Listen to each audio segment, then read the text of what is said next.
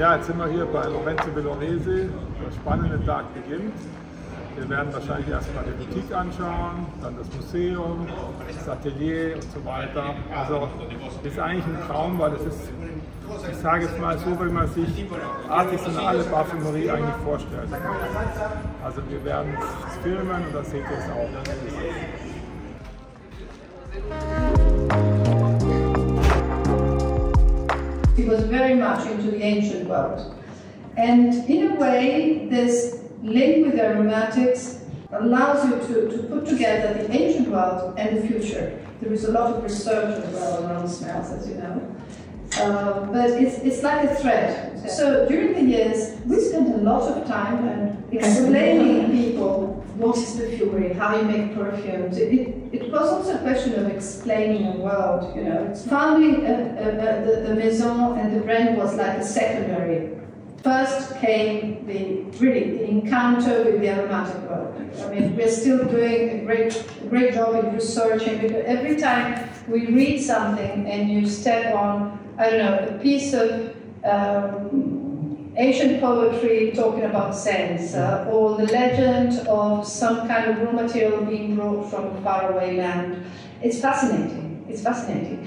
But it's more than that. I mean, during the centuries, the importance of the aromatics was has been really much greater than we can perceive today. And uh, new countries were discovered because of that. And navigation took one path or the other. So we decided that, I mean, as soon as Lorenzo managed to reacquire enough space at the house, because it used to be his grandmother's, then it was sold, and he bought it back little a little, said, I would like to do a project about scents.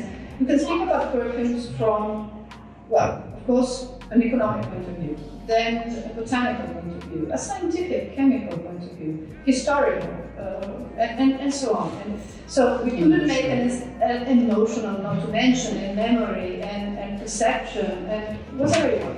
So we couldn't make an encyclopedia. We decided to make a museum, like a space in which at least you could get a hint of how much there is beyond the world. And then, according to personal curiosity, you can go deeper into one or the other of the subjects that we, we, we present. In fact, the the real project is still to make a museum and academy. I mean, we want, we want, we made the museum, but the purpose is also little by little to build something around that because there is so much that can be said, and people are curious of that. You know, uh, so many people are working in the perfumery business they never realize what is patchouli, what is vetiver. It's also a question of knowledge, uh, which is why we completed the museum with a collection of live plants.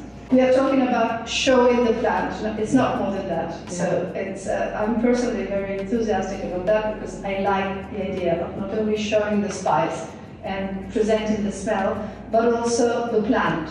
And it's interesting to understand that it comes from nature. Even with young people coming, when you see that there is a leaf that has a smell, I think it's more, it's easier to understand why it turned to be fascinating for somebody in the past. Exactly. Completely different. Because, I mean, of course, extracts mm. are concentrated, and then when you say tuberose, very often it's already a compound. Yeah. So but to smell things in nature, and I think it really helps understanding that it's like an inspiration at yeah. the time. Yeah. And it's very difficult to for a perfumer. I mean, there are flowers that you know, like gardenia. You can spend your life trying to create a gardenia. Yeah. Uh... Wow.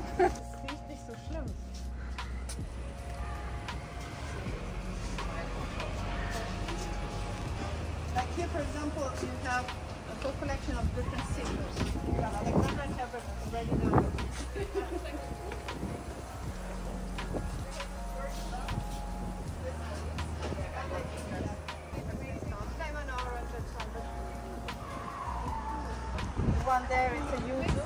It's the, you know, the Japanese one. Uh, and this moment is a big hype yes. of yuzu yes. fragrances and yuzu fruits. Yeah. Sweet orange and lime, uh, grapefruit. These two this is not really a perfumery use one, it's Chinotto. Ah. Uh, uh, Chinotto, it's quite bitter and it's used with, uh, to, to make a liquor which is very yeah. famous. Uh, and it's called Citrus myrtifolia because the, the leaf is much Like- smaller like myrtle. Yeah. And uh, but we had the school of uh, fragrances in Grasse that was curious to see the Chinotto, so I added it to, to the collection. Yeah. And uh, uh, well, that you'll see it downstairs. This is cardamom, and uh, Mm, es riecht wie Kardamom. Lecker. Ich liebe. Kardamom. Riecht mal, ganz toll. yeah, but usually we use, we know the grapes, and uh,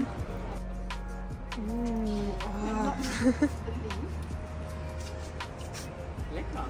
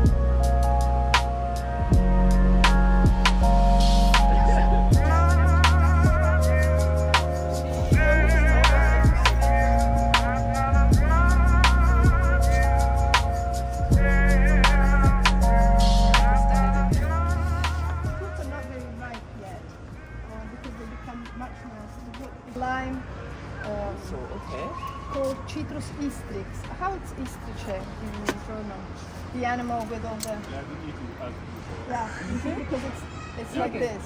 Stacheln, wie die heißen die? Stacheltier? Stacheltier, die sind etwas größer Yeah. als Igel. Ah. Yeah, because instead of being like an orange, it has it comes you know with all of this lumpy surface. And in Madagascar they use it a lot for cooking, and in Thailand as well, for cooking because the, the leaves because the fruit is a bit too sharp. Only the leaf. Mainly the leaf. It's, it's, it's Other citrus? Asian. Yeah, yeah, it, it's used for custom.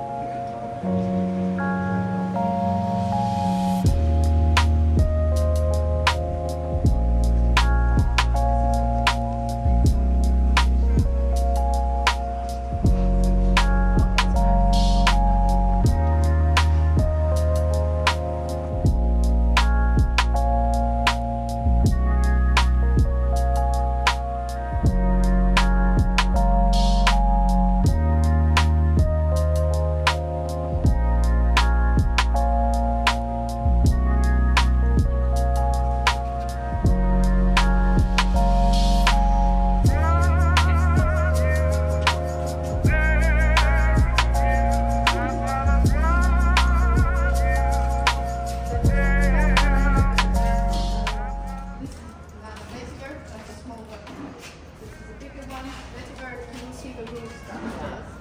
And, uh, and then different kinds of jasmine, ylang ylang over there. So I do try to, to always add Ma le, ma le something. nostre vaniglie gliele faccio vedere. Sì, sì. Ah, ok. Yeah, we're very proud of this vanilla.